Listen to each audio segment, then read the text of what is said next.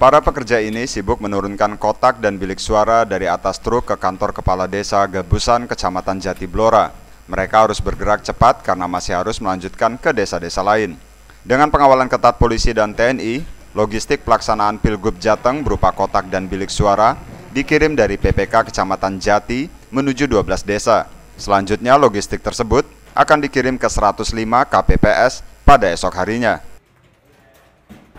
Yang pertama yaitu kota sama bilik sama C2 bilik bilik anak kunci sama anak kunci. Untuk Kecamatan Jati itu sejumlah TPS yaitu ada 105 TPS.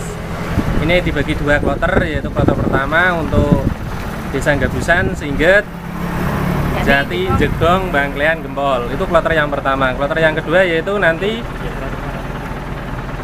eh, Pelem, Randu Lawang, Kepoh, Tobo, Pengkol Jagung, terakhir Ndoplang. Daftar pemilih tetap dalam Pilgub Jawa Tengah 2018 sebanyak 27 juta 68.125 jiwa.